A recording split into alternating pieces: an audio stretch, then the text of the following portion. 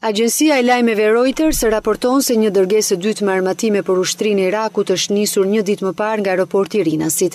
Një avion ushtarak kanadez ka transportuar ngarkesën drejt Kanadas dhe më pas armatimet do t'i dorëzohen forcave ushtarake të Irakut. Një lajm i tillë nuk është publikuar nga Ministria e Mbrojtjes Por Reuters shton se transporti është bërë ditën kur Tiranën e vizitoi ministri i Jashtëm kanadez John Baird, i cili ka qenë në aeroportin e Rinasit së bashku me ministren Kodheli në kohën e nisjes së avionit ushtarak. Shqipëria i ka dhuruar njëzet e dy milionë fishekë shtatë pikë gjashtëdhjetë e dy milimetër për forcat ushtarake irakiane, ndërsa ka dhënë edhe pesëmbëdhjetë mijë granata defensive dhe tridhjetë e dy mijë predha mortaj të dimensioneve të ndryshme, si dhe njëzet mijë granata.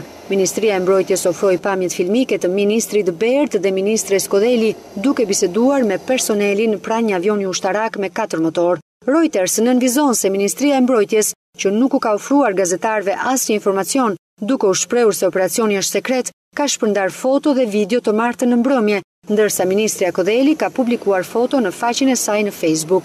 Ashtu si më herët të qeveria shqiptare ka mbështetur Shtetet e Bashkuara, edhe qeveria e Edi Ramës ishte e para që u ofrua për të ndihmuar forcat irakiane si pjesë e një koalicioni ndërkombëtar për të luftuar terrorizmin. Shqipëria ka dhuruar po ashtu dhjetë mijë automatikë Kallashnikov për Afganistanin. Nën diktaturën staliniste të Enver Hoxhës, Shqipëria ka akumuluar sasi të shumta të armëve të prodhuara nga rusët sovjetikë dhe Kina. Kodheli ka premtuar se një batalion i ushtrisë shqiptare nuk do të përdorë më kallashnikovin, por do të pajiset me armë M katër sipas standardeve të NATO-s, përfundon shkrimi i agjencisë Reuters.